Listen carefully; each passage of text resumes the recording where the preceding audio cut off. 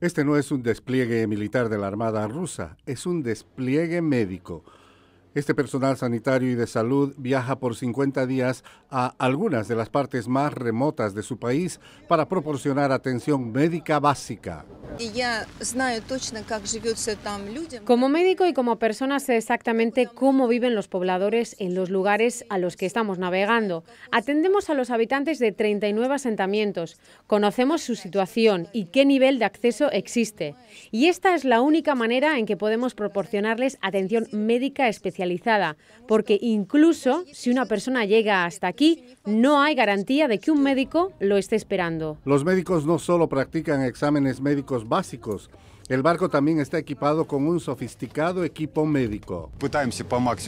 Tratamos de ser en su mayoría autónomos. Traemos ultrasonido, nuestro propio laboratorio. El año pasado mis colegas lograron traer incluso una máquina de rayos X. Cuando llegan los médicos hay inevitablemente largas filas y una paciente espera.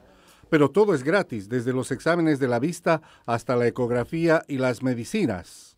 El mantenimiento del barco médico cuesta alrededor de 200 mil dólares al año, pero ha cambiado las vidas de las personas que viven en esta remota zona de Rusia. Henry Llanos, Voz de América.